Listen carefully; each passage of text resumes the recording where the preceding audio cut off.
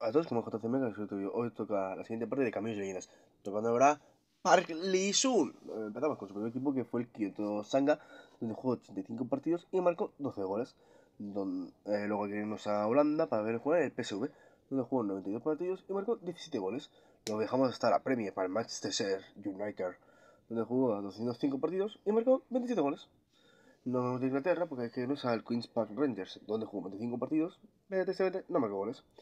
Y su último equipo es una vuelta otra vez al PSV, donde jugó 27 partidos y marcó 2 goles. Y luego, con la selección y demás, jugó un total de 100 partidos y marcó 13 goles. Bueno, hasta aquí el vídeo. Suscribiros si os gusta un poco más.